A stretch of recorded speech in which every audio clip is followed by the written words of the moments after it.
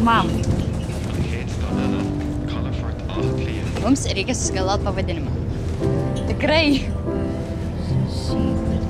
Pavyzdžiui, Music Ladies. Labą dienelę susirinkusieji čia Airijos lietuvių bendruomenės centre. Sveikinu visus su Cepelinų diena.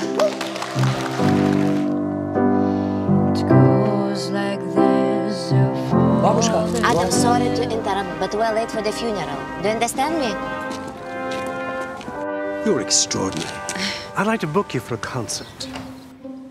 The concerts are held in the castle, one of the best music venues in Ireland. Cheers, man! Yo, yo, yo! Yo, žiūrėk, nebebendrauja. Į Blue Valentines, Somewhere Over the Rainbow, Whiskey in the Jar, Monika.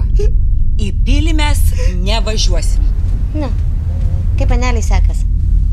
Blogai. Klausyk, tai gal tu reikia baigti tą muziką? Einam su mumis į fabriką. Užsidirbsi šiek tiek pinigų ir no more problem. Šiaip aš dainininkė. Ir nemanau, kad būtų gerai, jeigu dvokčiau žuvimi. Monika, jeigu aš nedirbčiau žuvies fabrike, mes neturėtumėm stogo virš galvos. Babushka is alright and will be returned in exchange for 500 euros. Jeigu su mentais prasidėsi, po sekundės jie visus butus aukštinkojom apers. Yo, what do you expect for a million? Not a million, but more than 7 euros. Go home before your mom makes a scandal. Jolanta, ką tu darai?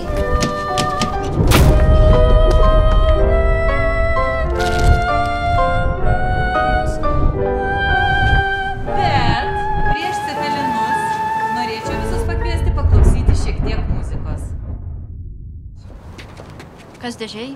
Man pochui. Man tai panašiau tortą.